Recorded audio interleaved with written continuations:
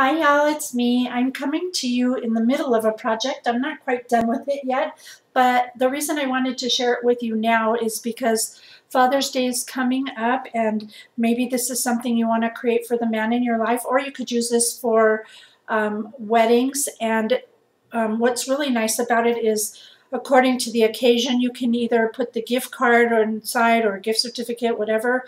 Um, you can put verses or quotes or poems that go along with Father's Day or with um, weddings, or you could do it, um, add photographs if you want to. So it's kind of unlimited as to what you can do with it. You could carry this on to baby, you know, shower gift. Um, you could do birthdays. It's just a great little way to give a gift and also to kind of make it a card at the same time.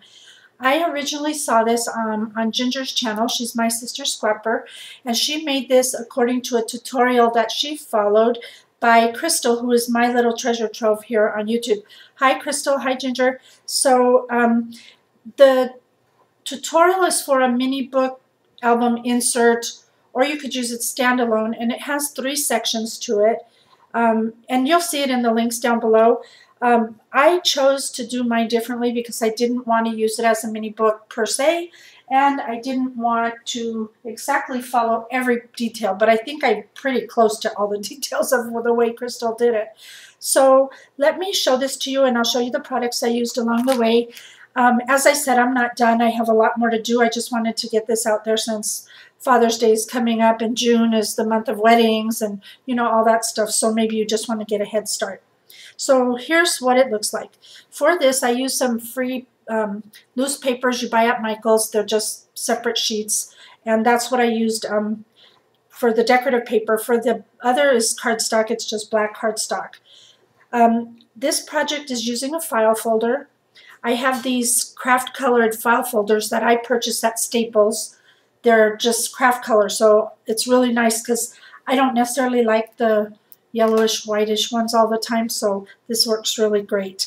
Um, okay, so on the front of this, there's a pocket, and in the pocket I made a tag that I doodled around the edge with. I added this wooden clock there, and that's from this collection thingy you get at Michael's. They have um, a whole bunch of different designs, but this is the clock one. And then here I used some jute from this, from the $1.50 bin at Michael's. It's this one right here. And this is the word happy, and that comes from Michael's as well. They have some word cutouts, and that's one of those. So it's really cute and simple right now. Like I said, I haven't finished embellishing or anything, but I will.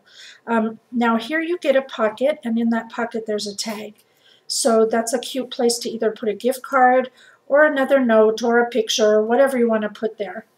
The tab of the folder, I just cut a piece of the cardstock and I added it there. I will write on that later on, maybe with a, a white pen or something. I'm not sure yet. So then this section flips down. And in it, there's another section here.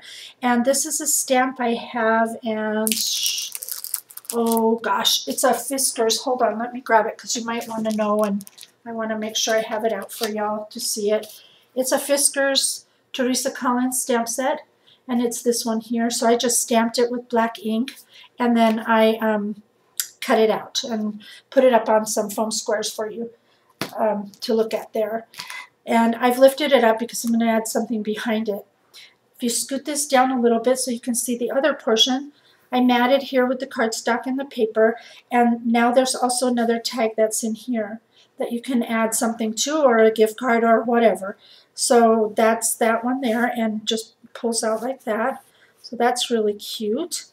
Then you put it back and now this opens one more direction the way I did it. The way Krystal did it, it has another has three parts, but mine is just two.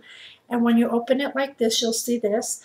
Um, this is the paper, pattern paper, and then I cut this on my silhouette um, and put it there. I made another tag matted the pocket and I used the clock there that I showed you earlier. So that is the pull for the tag.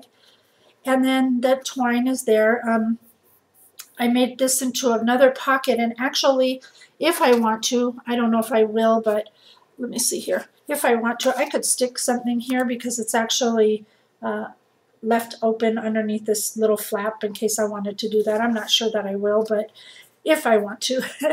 anyway, and there's the back of it. It's plain for now. So that's the little project. It is so cute and it's if you slow down my video following her tutorial Krystal's, you'll be able to see what I did different and it's really not much. So anyway, there you go. I hope you enjoyed this cute little project. I hope you use it for yourself in the future. Until next time, do what makes you happy. Bye for now.